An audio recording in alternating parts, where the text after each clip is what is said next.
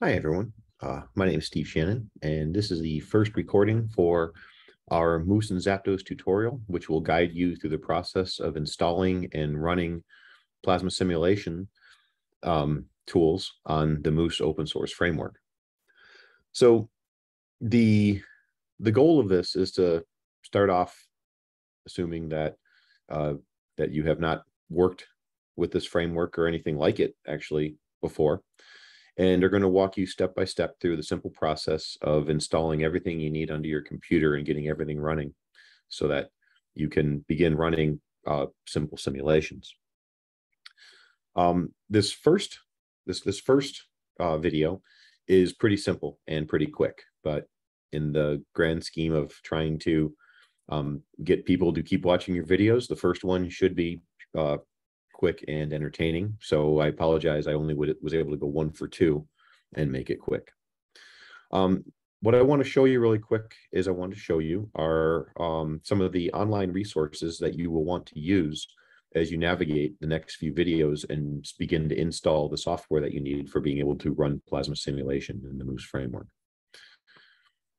So I'm going to share my screen really quick.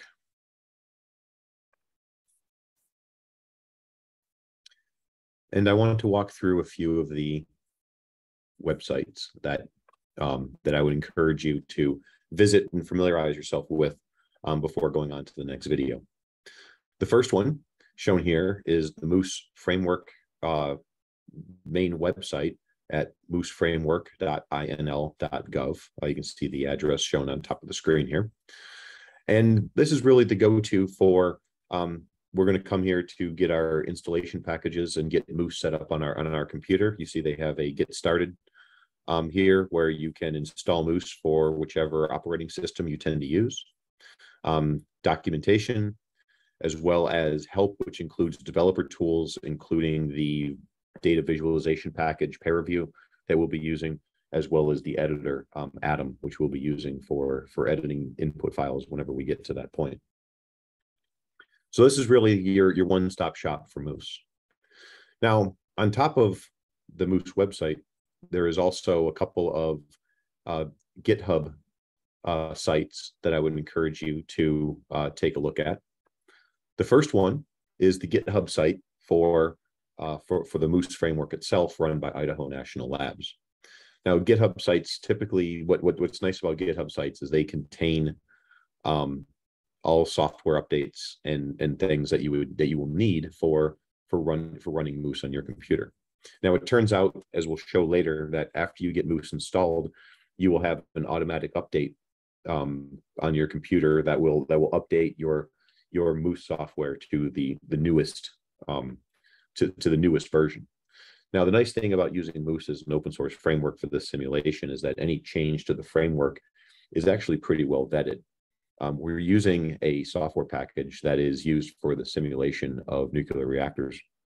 And because of this, there's a pretty strong vetting process anytime a tracked application, which includes the, the Zapdos uh, application that we're working with for, the, for, for plasma simulation, or the base Moose uh, um, um, op, uh, programming environment. Anytime there's changes to that, it has to go through extensive um, uh, quality tests in order to make sure that it is backward compatible and that um, it's not introducing anything into in, um, into the system that would, you know, make simulation of nuclear reactors or other trivial things uh, go bad.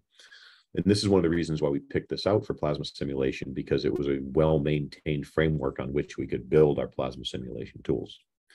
So a couple things um, on these GitHub sites that you'll notice is that you'll have um, things that have been updated over the course of the last everything from just a few days ago, two months ago to um, four years ago. So it will have a uh, it has a pretty good extensive archival history of, of what's been what's been put into the Moose framework. Um, it will list existing issues um, that are that are being resolved in the framework, pull requests, and for you, actually, the big one is the discussion forum, where you can post questions about installation or issues you're having getting Moose running, and you can post questions about the general, the broader Moose framework onto this forum. Now, similarly, there is a GitHub site for Zapdos. Now, Zapdos is the plasma simulation tool built on top of the Moose framework. So it's basically using Moose as a as, as the framework for which to for which to carry out plasma simulation work. Um, and again, you'll see uh, updates. You can you can track updates to the code um, up to looks like we have stuff that's going on here as far as as far back as eight years ago. Um, but really looks strictly at, at at the Zapdos application as opposed to the broader Moose framework, which is used for lots of things other than plasma simulation. Um, again, it's also a place to track issues on, and um, that, that, that, are currently being worked through on, on the Zapdos um, application, pull requests, and again, as I mentioned before, um, some of the, um, so, uh, the, the, the, the, the, discussion forum where you can see um, some of the issues and some of the um, some of the uh, uh, questions that come up for people who are navigating how to use Zapdos for the first time. Both this and the broader Moose discussion forum on the other GitHub site are very well maintained, and there's a large enough community at this point where your answers do get answered. Do, do you do get your answers addressed relatively quickly?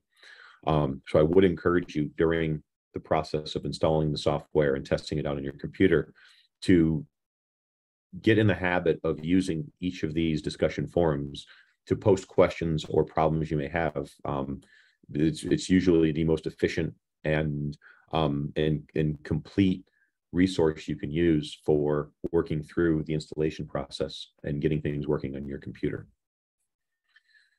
Now, finally, the last three websites that I want you to um, to take a look at. Oh, by the way, I apologize. I just realized that my uh, so my uh, uh, browser doesn't give the um, doesn't give the uh, um, the full address. So I had to click on this to give you the full address. So for example, um, for Idaho National Labs, here's the here's the full website for the Idaho National Lab Moose um, Moose website.